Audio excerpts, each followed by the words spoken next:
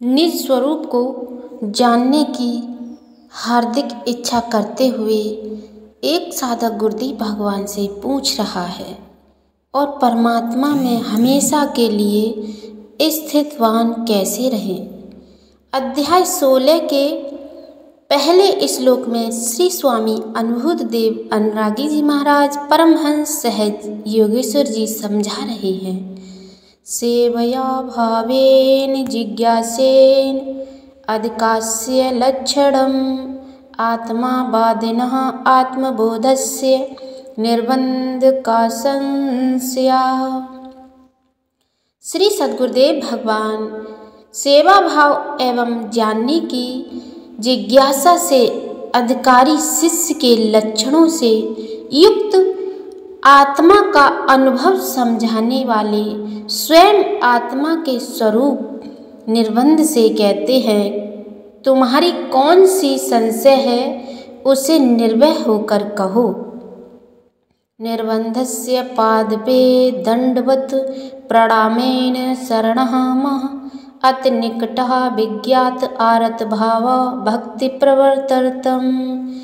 दूसरे श्लोक में, श्रद्धावान, निर्बंध के चरणों चरणों में दंडवत प्रणाम करने से अत्यंत पास के में आरत भाव से, भक्ति में प्रवर्तित जानने से कि यह मेरी शरण में आया हुआ है, श्री सदगुरुदेव भगवान प्रसन्न होकर कहते हैं कि साधक, गुरुदेव भगवान के श्री चरण कमलों में अपना सारा जीवन समर्पित कर देता है, तब जाके गुरुदेव भगवान से प्रश्न करता है और तीसरे श्लोक में गुरुदेव भगवान ने समझाया है निर्बंध म अवेदो केवलम अद्यताहम निज स्वरूप सततः बोधम दिव्य चक्षुता परम तीसरे श्लोक में श्री गुरु महाराज जी कहते हैं कि, हे निर्बंध मैं और तुम दोनों ही स्वरूप से एक ही है। निज स्वरूप को दिव्य नेत्र से जान लेने पर हमेशा ही हम एक परमात्मा में ही स्थितवान हैं। मम त्वमेव सखा बंधुसार्थिना च सेवक। अविद्यास भ्रमेन चैति विमुक्ता त्वमम। चौथे श्लोक में अध्यात्मक स्वरूप का विवेचन करते हुए गुरुदेव भगवान कहते हैं कि तुम ही मेरे मित्र हो।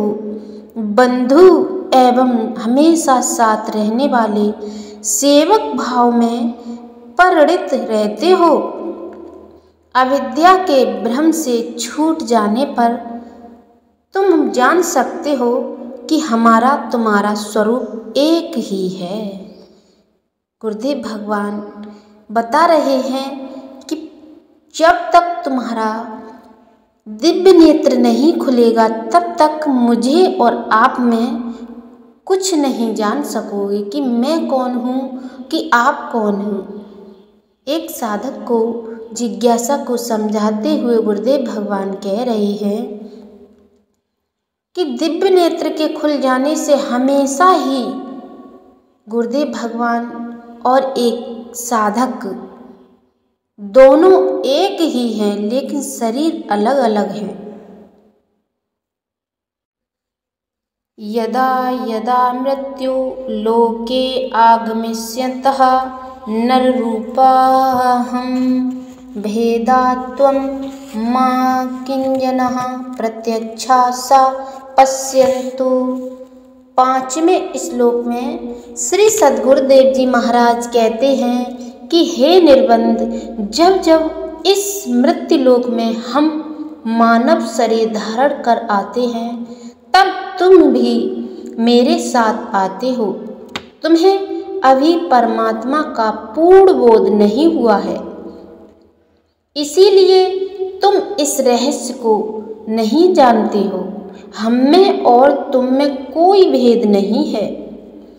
भेद सिर्फ़ परम तत्व को जान लेने का है। इसीलिए उस परम आत्मा का स्वरूप तुम प्रत्यक्ष देखो।